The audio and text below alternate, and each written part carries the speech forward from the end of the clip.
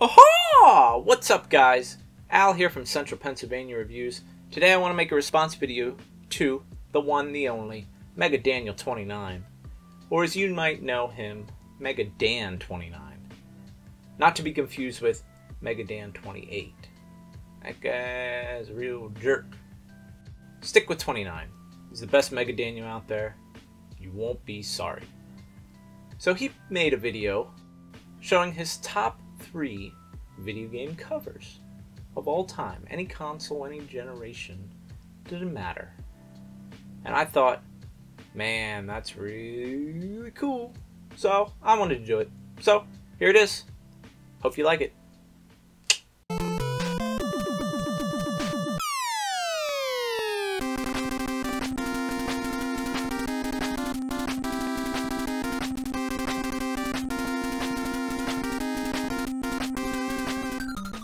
So, for number one on my list, I'm going to have to go with Bioshock Infinite. No, not that cover.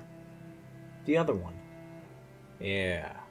Okay, so I played the first two Bioshock games relatively early, and they were awesome. I thought they were great. They're very dark and gritty. You know, you're underwater in this cool town running around, beating up junkies, and you got these little girls. It's creepy, it's cool, it's dark. And then Bioshock Infinite came out. And I was like, what the hell is this? I, I don't want this. This looks dumb. It's not gritty, it's not dark, it's bright and shiny and yeah. So, I didn't play it when it first came out. Eh, whatever. Maybe one day I'll play it. So, happened to be in the video store one day and uh, looking around. Boom! This cover pops out. Not to be confused with the one that's it was released with. Apparently, this one is a reverse cover. It's on the back of the regular cover. I saw that cover, bright red label in the end, and I said, Bioshock Infinite. Wow, this cover is really neat. It's very plain, that dull kind of blood red. Little design on the front, nothing over the top, nothing fancy like the original cover. It's just very plain and unique, and it was cool. You know, three colors black, white, red. And I was like, well, you know, uh, maybe I should give this game another chance. So I picked it up, and yeah, it's a good game. Still not as good as the old Bioshocks, but it was still good, and the cover is what drew me in, and that's why it's one of my favorites. It's, it's one that actually grabbed my eye and made me go, hey, maybe I should play this game. So, I hope you like that one, because the rest are just as cool. So for my second one, it's gonna kinda be a 4 for 1. I know what you're saying. Eh, that's kind of cheating. You can't do 4 for 1. Well, you know what? It's my video. So, deal with it. Once you see these four, you'll realize that they're, they're all very similar. And it's all the same storyline, all the same character, so it works. And these four are Zelda, Zelda 2, Super Nintendo Zelda, and the first one on the Nintendo 64. They're all the same. Very similar. They're all just plain. You know, the first one had the shield, second one had the sword, Super Nintendo had the sword and shield, and then Nintendo 64 one, sword and shield. And if you haven't noticed, I like a lot of plain, minimalistic stuff. These are great covers. You're saying to yourself, well, they're kind of dull. That's awesome. They knew what they wanted to make. They wanted to keep you knowing what you're going to play, knowing that the songs are going to sound similar, knowing that the gameplay is going to be similar, characters are similar. They wanted to, you to remember that this is Zelda. And that's why they're all very similar. They're bland with that focal and that big blocky text that just draws your eye in. And you're like, yes, I know what this is going to be. This is going to be Zelda. It's that same brownish gold, and it's. I'm going to be playing Zelda like I always play Zelda. And it worked. These four are probably some of my favorite four Zelda games in the whole series.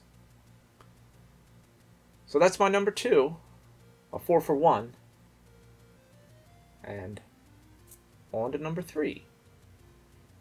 So for my third choice, it's going to be a game called It Came from the Desert. Now, originally, this game was released on, I think, the Amiga and DOS, and they were going to have it ported over to the Sega Genesis. But I think the company ran out of money, and they didn't finish the game, and it went But apparently, when they were done with it, they were like 99% done with it. So, I think in 2000 something, they released it on a ROM for Genesis, and I think they released a cart, and I think they're doing another uh, pre order sale for the cart so you can play it on your Sega Genesis. And which is really neat.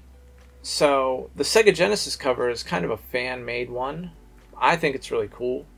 It's very kind of pop art where it's, you know, minimalistic, solid shapes, and it's just you never saw anything of it of the time, and that's because it's a fan cover made in like I don't know whenever they made it in the '90s, 2000s. So that one's really cool, but the one for the Amiga DOS one is really cool too. It's obviously the name is a play on words, you know, like the It Came from Outer Space, the very generic B movies from the 60s, the monster ones where they were just like all the covers looked very similar and it was very nostalgic. And so the Amiga one is really neat, but I also like the Sega Genesis one. It also reminds me, this isn't this is kind of tying it in, but it reminds me of Zombies Ate My Neighbors, which is another kind of 50s.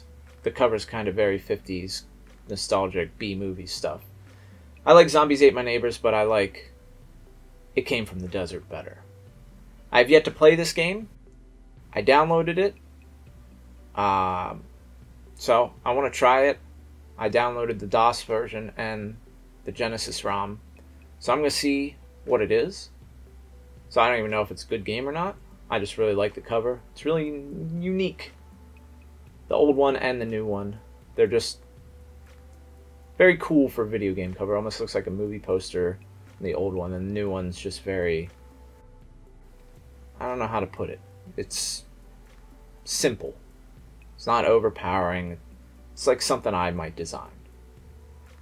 So those are my top three. Obviously, they're probably not my top you know, they're just ones that really stick out in my brain. If I go back and look at it and look at every cover, I, there's probably other ones that I like maybe more. These ones really stick out to me. Yeah, you got a four for one in there, but you know, I like to save you money. I like to get you more bang for your buck. And if you notice, they're all very plain, simplistic covers, and that's just kind of how I like my stuff. I don't like flashy stuff. I don't like the generic covers that they use on a lot of things. And um, yeah, I hope you liked it. Can't wait to see your response video. And I will catch you later.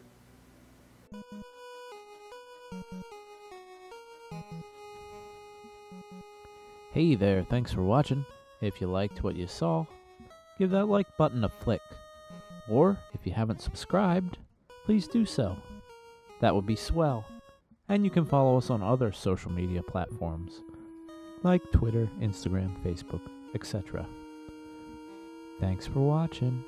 Bye bye now.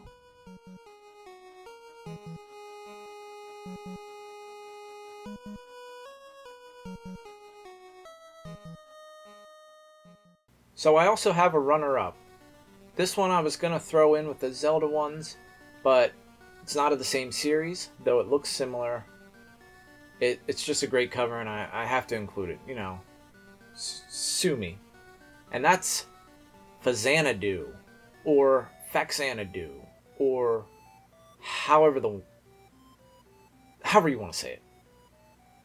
Everybody says it different. Whatever. Fazanadu. You know the game. Now look at that cover. It's kind of like Zelda. You know, it's very plain. It's got the blocky font and then that little little badge in the center. I guess they kind of made it look like stone. If you played the game, you know, it's if you look at the little badge, it's a little tree in there and if you play the game, the whole thing takes place in a tree. And I love the font. This font is fucking awesome. It's that big blocky font. Almost looks like Zelda font, but it's not. And just another very simplistic, very neat cover. And I really love it. Could have been. It's very similar to the Zelda ones. And the gameplay is very similar to Zelda 2 almost. Um, but yeah, it's it's beautiful and it's just great.